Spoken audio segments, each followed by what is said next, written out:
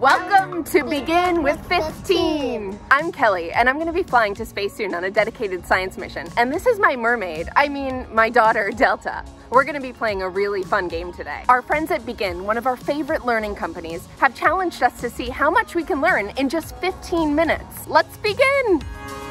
Delta, do you know how many planets are in the solar system?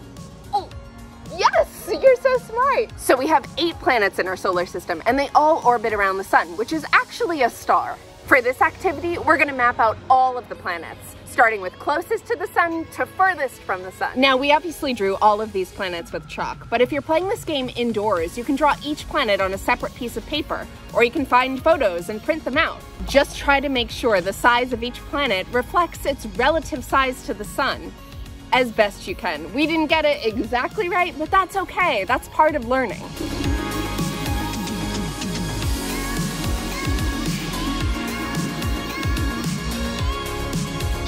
All right, let's see what we got. Okay, we got the sun, we got Mercury, we got Venus, we've got Earth, Mars, Jupiter, Saturn, Uranus, and Neptune. All right, we've got everything. And now I think we're ready to play the game. Are you ready? Okay, now it's time to play. Start by standing on the sun and you're gonna hop from planet to planet as I describe them in each of my questions.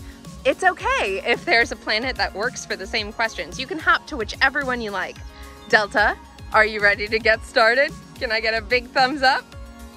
Yeah, okay. Delta, hop to the planet that is furthest away from Earth.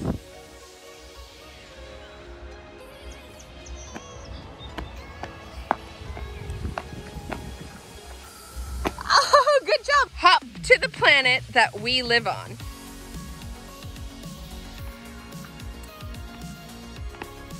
Woohoo! What planet is that? Exactly. How could you tell? And what does the blue and green represent? The green means land and the and the blue means water. Oh, you're so smart. Okay. Let's see if I can stump you. Hop to the planet that mommy is flying to when she goes to space.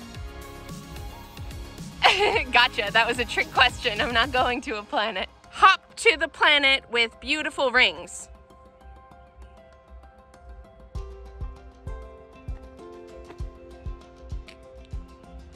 Good job. What planet is that? What planet has rings? Take a guess. Jupiter. Close. Saturn. Yes! Hop to the planet that is hottest.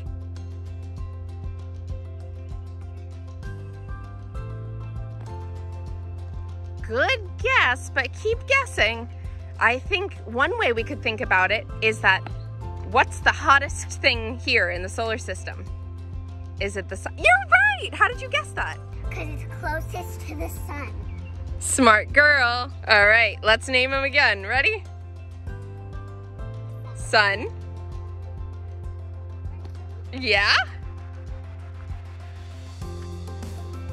Venus.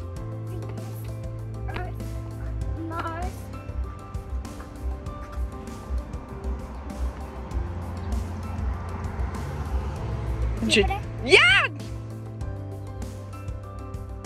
Saturn. Yep. Uranus? Uranus. Neptune!